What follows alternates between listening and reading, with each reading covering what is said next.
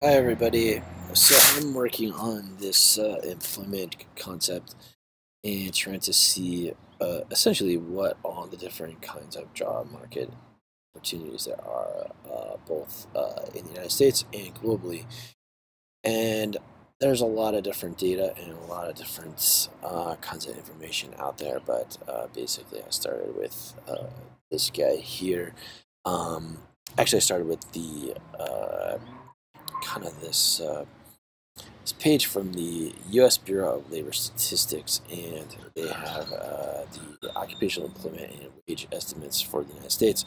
And you can sort this if you click up here. You can sort it by total numbers of jobs and uh, even wage or annual wage. Um, so I kind of wanted to see overall what was going on in the United States. Um, and then just discuss it. So I came up with this document here, and we're basically going to discuss all these things here in the document. Um, and starting with this one to kind of see uh, the monthly net wage, and you can kind of see here uh, that uh, Switzerland, United States, Australia, Denmark, Germany, Qatar, uh, Sweden, Finland, Saudi Arabia, UAE, Oman, Netherlands, Singapore, and so on, Canada. These guys are kind of in the top uh, group here uh, for, so you can kind of see right around here, Italy is kind of the last one um, in terms of uh, monthly uh, net wage.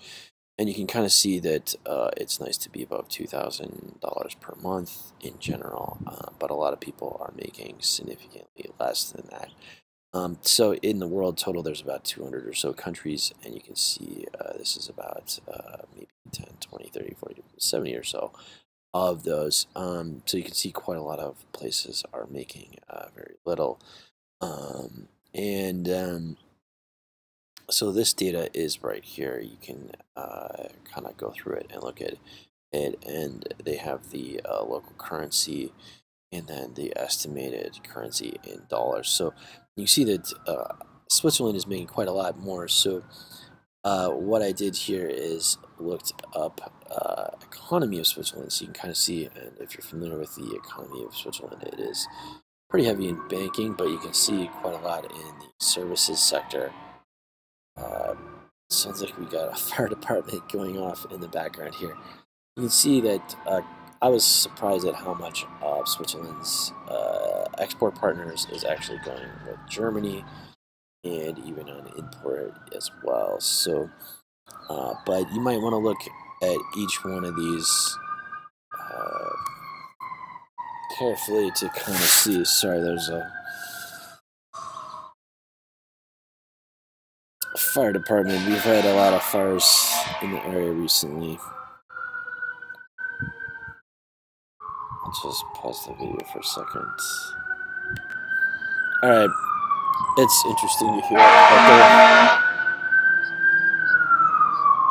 Basically going by with a fire truck. So, uh, but yeah, so there's there's a lot of little details in here. I would say in particular interest is that quite a number of these top ones uh, are in Arabia. Um, you can see that uh, probably the oil industry is making quite a lot of money here. Um, Australia would be another one to look up, um, and you can do Australia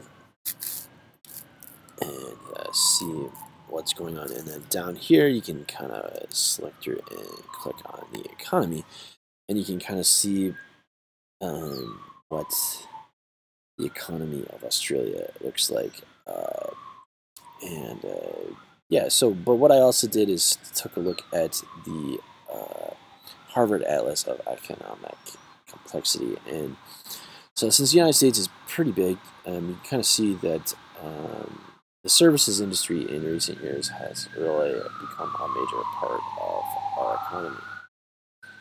Wow, we're just getting tons of fire.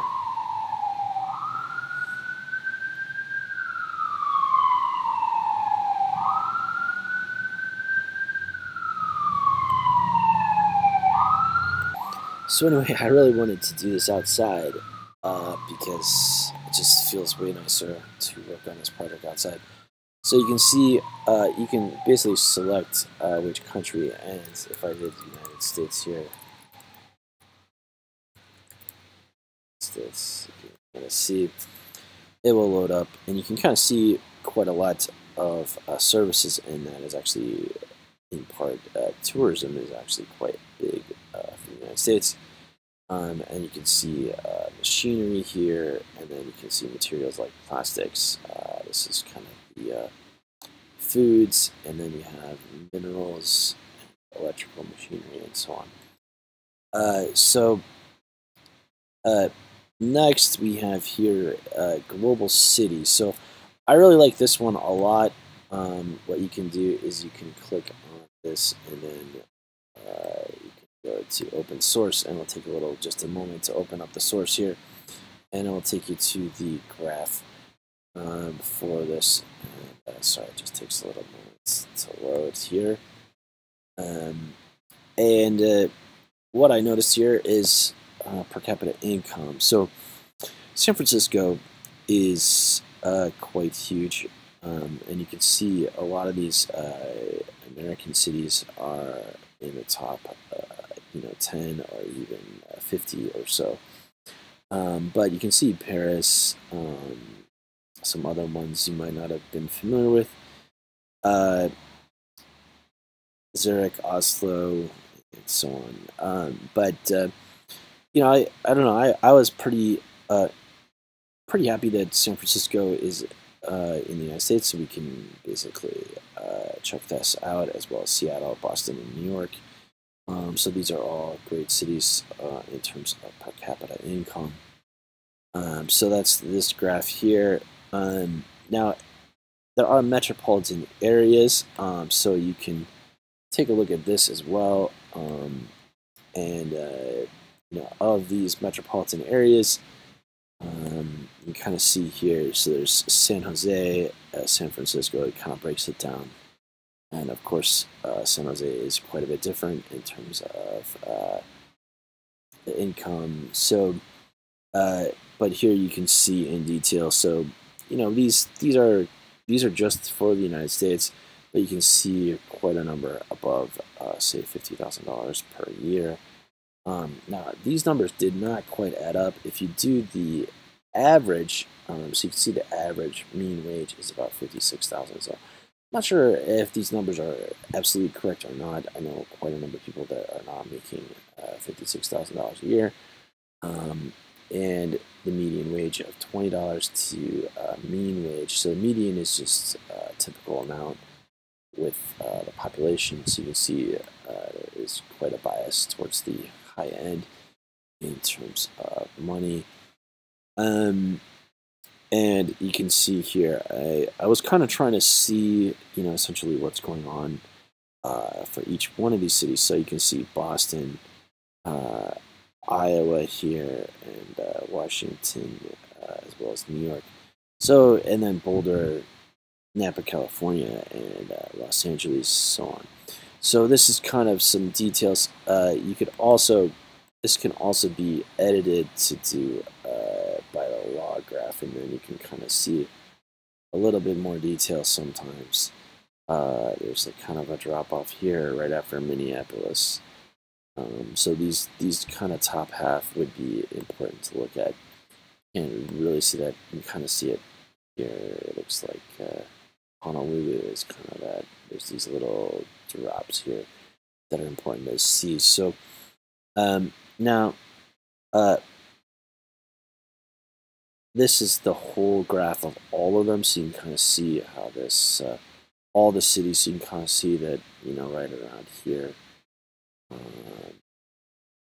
there is quite a difference. So these maps um, are some of my favorite because they show uh, the little zones where you can see kind of the wealth map. Um, uh, the East Coast in general has quite a lot of wealth right in through here, kind of spawning off through New York and actually going down into here, which is uh, Washington, D.C. This is pretty surprising. Up here, you can see quite a lot of wealth here um, in uh, North Dakota, as well as uh, kind of uh, This is uh, Wyoming here, and then you can see kind of San Francisco Bay Area heading out to Sacramento. And then down south, you can kind of see also uh, the uh, San Diego and Los Angeles, as well as Seattle. And then in here, you can see some things in Texas and uh, Florida being pretty wealthy, actually, and actually kind of biased on the West Coast. Kind of a more detailed chart here. You can see specifics uh, for uh, annual salaries, and then I see the just the coloring kind of makes it a little easier to see. Um, this is available on Wikipedia. I'll show the links for this later. I think I have the link on this. You can just click on this here for that link, and hopefully this one has that link too. So uh, now, uh, metropolitan area, so you can kind of see. Um, this was sorted by, I believe, uh, population. So you can see New York, although the population, they're actually, because the population is so significant in New York, this is the second largest city, then Los Angeles, then Dallas, Philadelphia, and so on. It actually isn't until you get to uh, Washington, D.C. here. And I can open up the chart source so you can see this, and hopefully this will load up in a second. Um, but um, while this loads, we can take a look um, here. So you see there's just a couple cities in here. This is San Jose. And right around here is probably Seattle. And this one is San Francisco. So just a few cities here, but you know, with the population being so huge in some of these areas. Um, so you can see this is uh, Washington, D.C., this is San Francisco, Seattle, Minneapolis, Denver, Baltimore, and then a little Portland spot here, and San Jose, Santa Clara, Sunnyvale. So uh, this really surprised me because I was like, oh, Washington, D.C., so it kind of gives you the perspective that uh, government jobs in general are looking pretty good overall. Um, and then you can see San Jose and San Francisco being slightly different uh, now this is per capita, so it's not for particular industries. And now this is sorted by wealth, so you can see the top ones all kind of. And I think I just have the graph here somewhere. Put that graph. There you go. Yeah, so this is the graph here. Um, you just got to scroll around a little bit, and you can see that there's definitely a drop off right here in uh, New York, and then after that, Atlanta. So these, and there's just a significant drop all the way down. So I think I can even do this on a log graph here. I can follow this up as a log graph, and it is a log graph. So uh, that's the regular graph. You can kind of see. I'll just leave it as a regular graph. That's even makes more sense. You can kind of see it flattening out here. Uh, pretty much a typical income of about twenty-five thousand. So that's where I'm really confused because the numbers here say that the average is about 56, but you know, so basically what happens here is in urban areas there's a lot of poor people, um, and that actually means that suburban and rural people are making actually significantly more money um, in some senses. So you can see even in Washington D.C. here the average is 47,000, but um, the countrywide average is 56,000. So perhaps that suggests uh, some different numbers, um, but I don't really even know what to say about that. So, um, you know, again, annual income by country, um, you see that uh, Australia, you know, United States here uh, is, uh, you know, these these go down to Mexico here and so on. So um, and uh, I think I got the link here. Let's just open that source up because uh, we'd like to take a look at that carefully. I think that's part of a chart I already loaded. So, uh, and uh, it's still loading. Sorry about this. So, all these charts kind of. Where did I put this guy? Anyway, so it's taking a while to load. Um, should even try to close some of these outs. Let's close some of these out to speed this up a little bit. So here's by country again, but you know this this graph I actually like a lot because it kind of shows annual income, um, and you can see, uh, you know, basically, uh, again, this shows kind of a rural bias. Um, Australia being, you know, there's a lot of uh, not, not not a whole lot of people in Netherlands, New Zealand, Ireland. Uh, Ireland actually is pretty dense in terms of population. Belgium, United Kingdom, and so on. But uh, Canada here being uh, significantly more uh, than the United States. And uh, this is the graph here. So I think on the right, or where did I put this? Yeah, so here's the actual data. So you can see uh, that, um, so you can see the annual income, hourly income, and uh, this is different for different years as well. So I think I took the latest for this particular one. So, uh, but here down in Mexico, around two thousand um, dollars, and it says fifteen thousand dollars. So you know these numbers uh, just do not match up with uh, the uh, data, and I would say fifteen thousand dollars seems about uh, correct. Um, and I think this is more based on uh, what is this data from? Uh, so this is probably a different company doing this uh, data here. So, uh, and sometimes maybe the private data is better. So basically, these are the numbers for uh, the population in general, at least according to the uh, labor statistics. Um, so basically, what I did is I went in and uh, looked at the uh, details by occupation. So, uh, so again, what I would say is that if you're looking for global numbers, you should really go to this atlas of economic complexity and then kind of break it down into industry. So I looked at exports here, um, and that is imports is not really where the job market is. So you want to focus on exports, and you can click here exports, imports, and you can also click on this to see where we are exporting to. So if you wanted a job in the United States, you could probably get a job with uh, Brazil, with China. You know, there's also some opportunities with Germany, and of course, a big opportunity with Canada. So, of these, you could say probably uh, Canada and Mexico are the best options uh, for international work uh, with the United States, and you just have to look through the numbers here to see with uh, you know the kingdom being very big here, and Germany being big, and actually uh, China being pretty big as well. So, but basically, when you compare the opportunities in China versus Canada, you'd have to say this would be way better for uh, the uh, to go with China. So, excuse me, to Canada.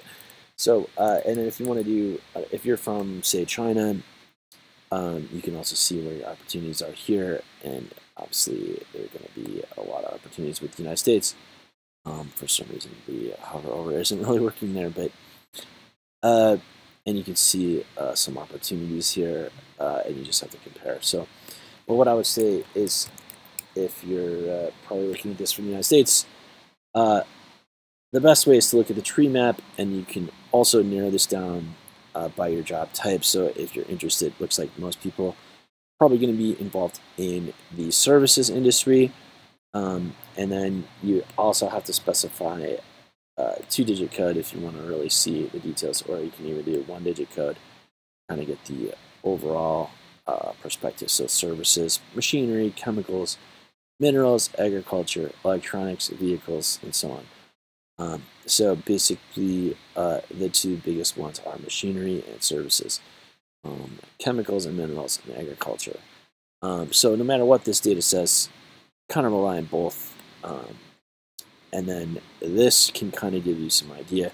So basically what I did is I sorted this by, uh, so I took, I took this data, kind of selected it all, it into a spreadsheet, and then sorted it by employment type. So you can see office and administrative support, sales related occupations, and so on.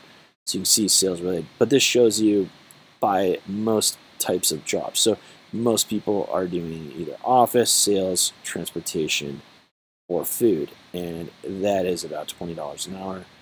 Um, and then you, you get kind of a, a gap up here with uh, production occupations. So when you're making something, um, that goes way up, basically.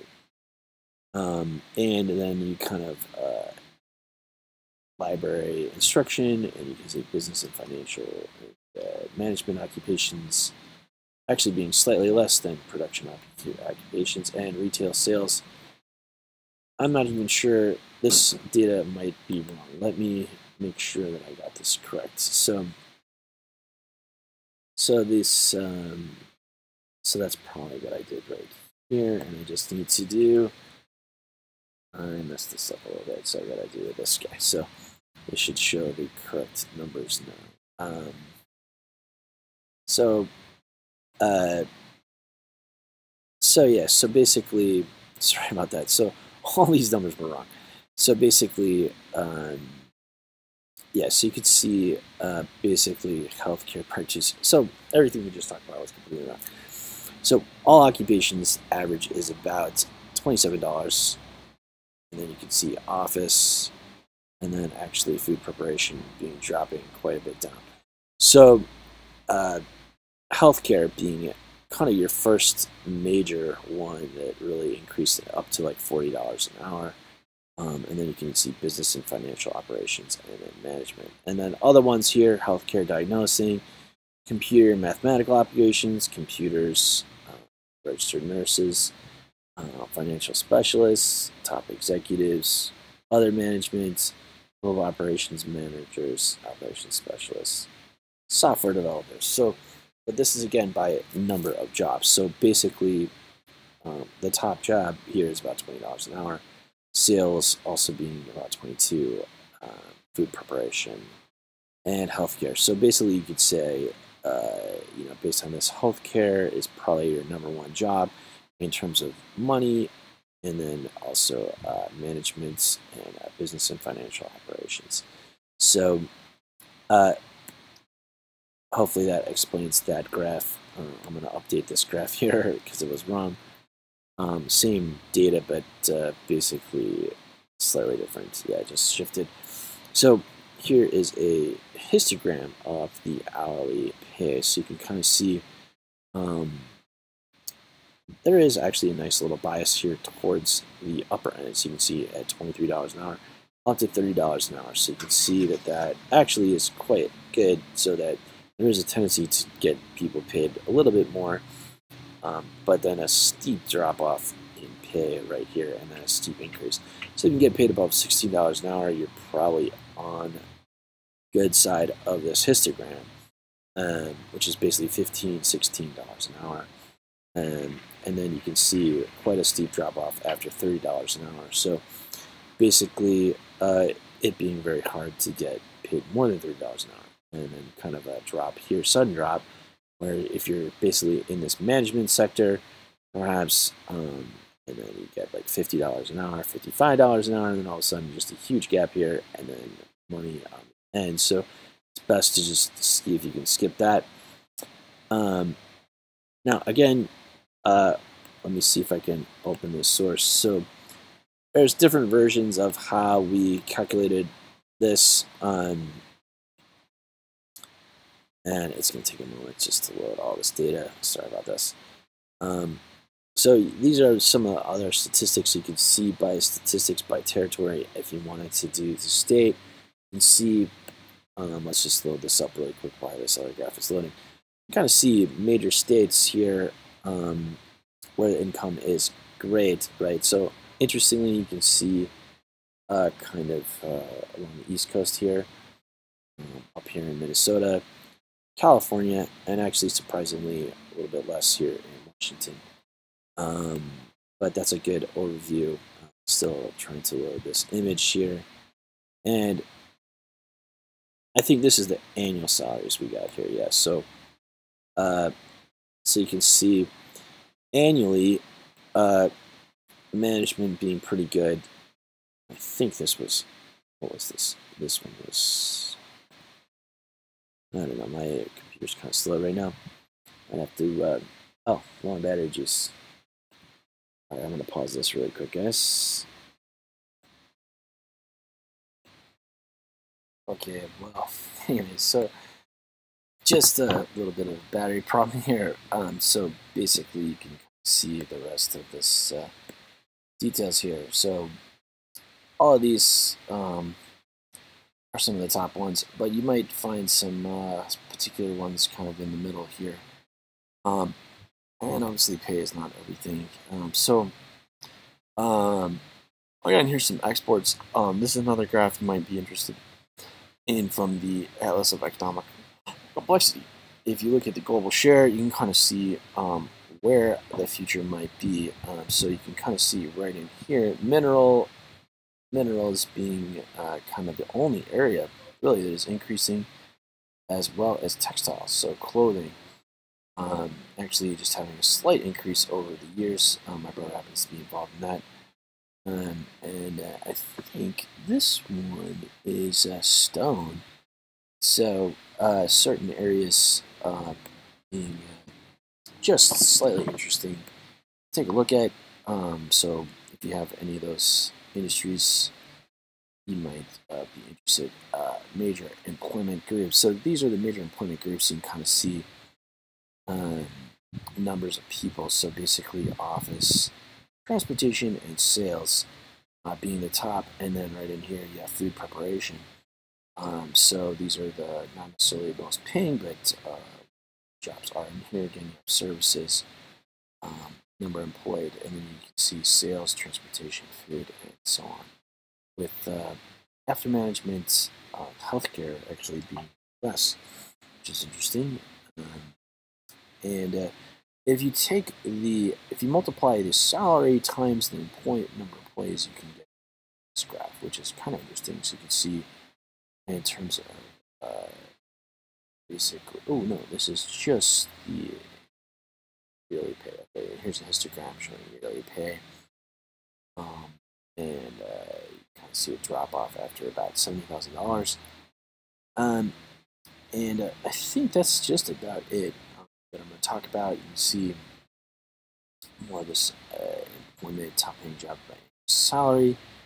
Um, and I think I just sorted these different kinds of ways so you can kind of see um, essentially what's going on.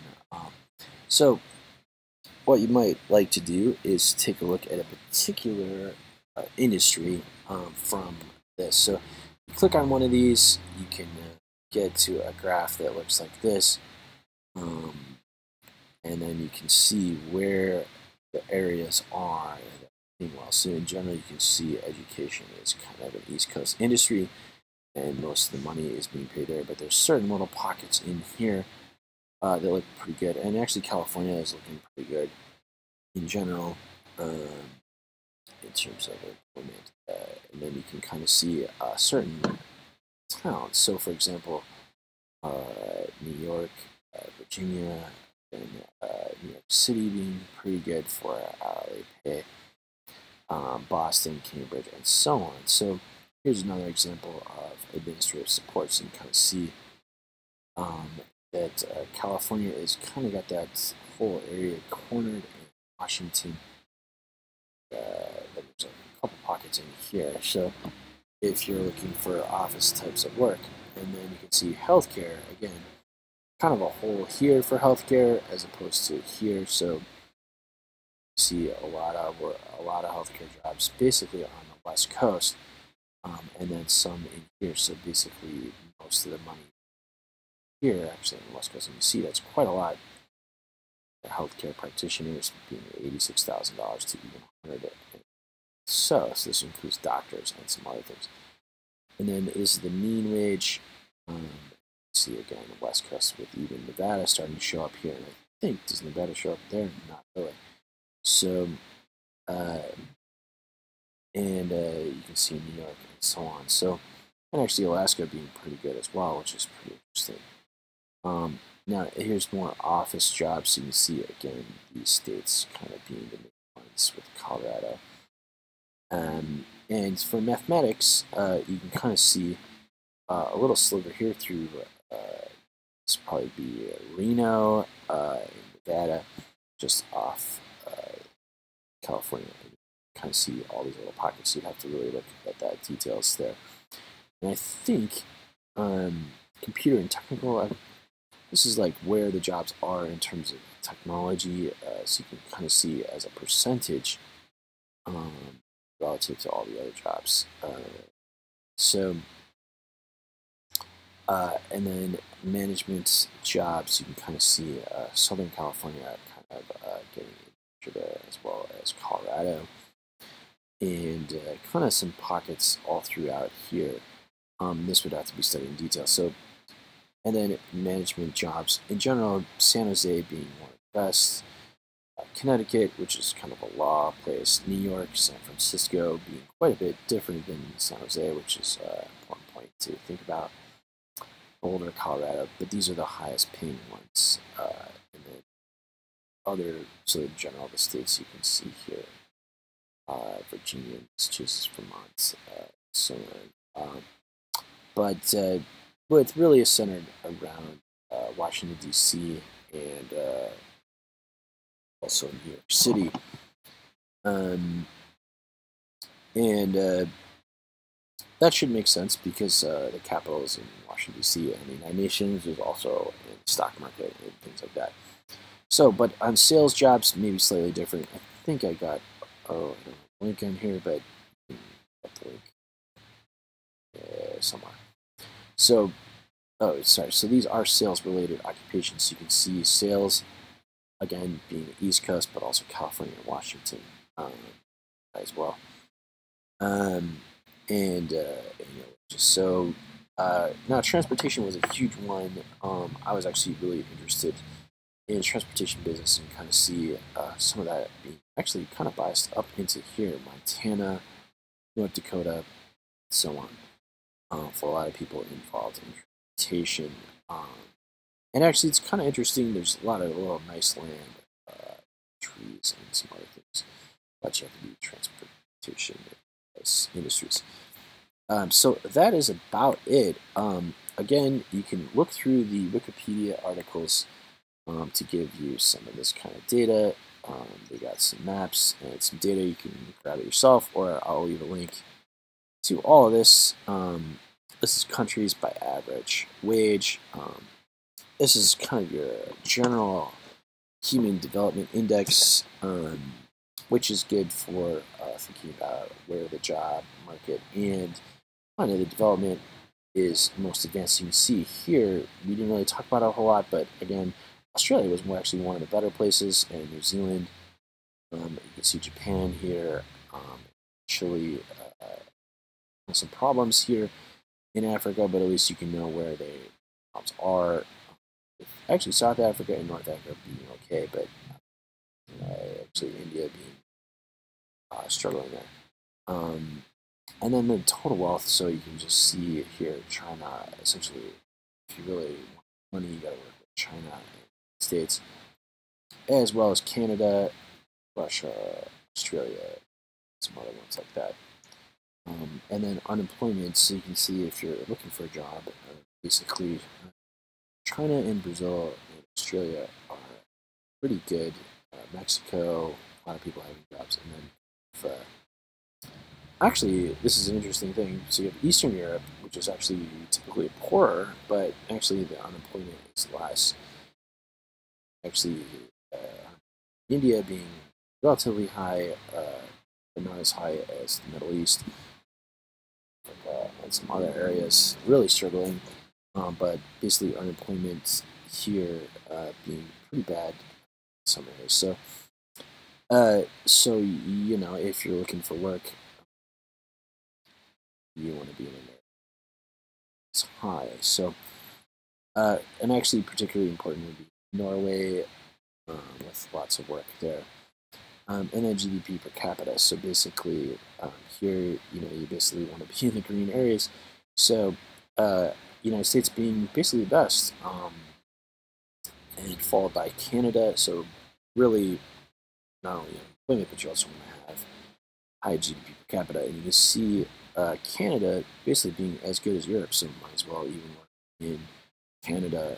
Um, so there's a lot of opportunities there in Australia. So if you're in the United States and you don't want to work with the United States, but outside the United States, basically Australia, New Zealand, Europe, and Canada, um, and then Japan here, and then actually we saw uh, some in the Middle East, a little sliver here. Uh, so that's a general overview map of what we should be looking at. Um, and sometimes there's maybe opportunities in Africa that we're not aware of. Like uh, right in here, we can see here. Anyway, I hope you really enjoyed this study. It's uh, helped me understand quite a lot. Um, and, uh, you know, uh, take a look at uh, maps and uh, try to see the entire Earth. Um, and, you know, really, when it comes to the Earth, um, I've actually been looking at the North Pole and the South Pole as well. Um, and, uh, you know, there's just so many different opportunities. It's hard to imagine that, uh, you know, the United States, uh, you know, like we saw a lot of opportunities in California and the West Coast, but this is quite dry, uh, bad land and through here. Um, and, uh, but so it's really just changes a lot uh, depending on what you're looking for in terms of your job market. And here you can see Australia is a good market, but why is this land so bad here? Um, so uh, anyway, so there's a lot of different uh, perspectives and uh, thoughts on what makes a good job or uh, the future of kind of like work on Earth. Um, so uh, let me know what you think if you got some ideas, suggestions, other data that you think interesting for me to look at. Glad to take a look at it uh, with you, discuss it with you, and hopefully this has been helpful. Thanks.